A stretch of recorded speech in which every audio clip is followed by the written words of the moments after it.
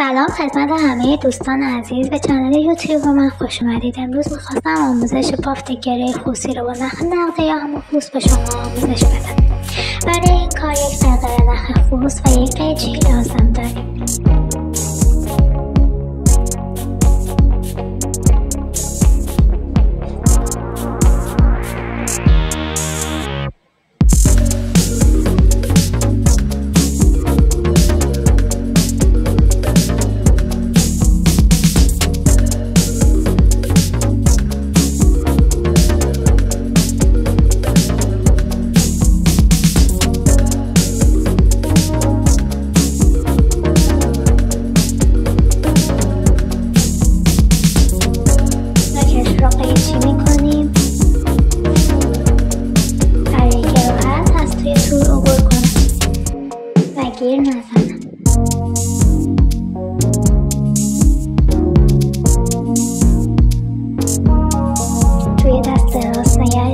میداریم با دست چپ تور رو.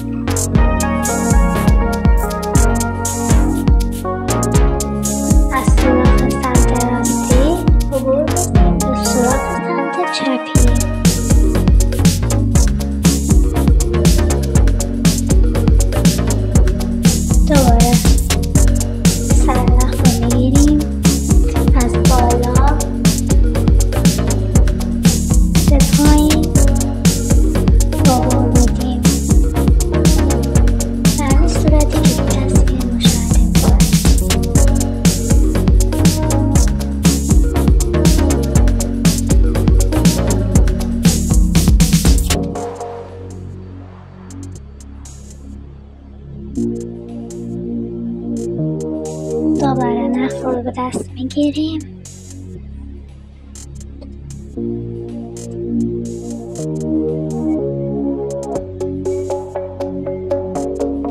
از گره قبلی عبور میدیم.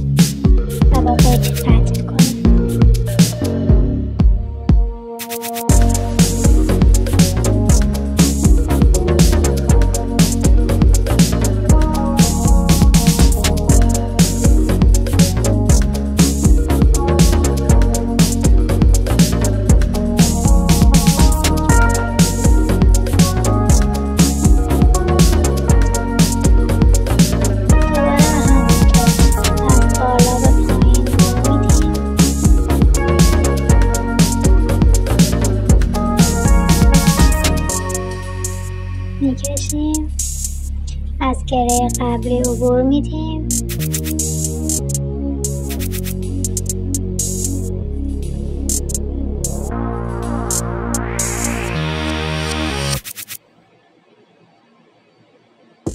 اگه از ویدیوی امروز من خوشت اومد همین الان اونو لایک کن کامنت بذار channel یوتیوب ما رو subscribe کن و زنگوله پیج رو فعال کن چون قراره کلی کلیپ آموزشی دیگه تو این channel گذاشته بشه ویدیوی بعدی. خدا نگهدار.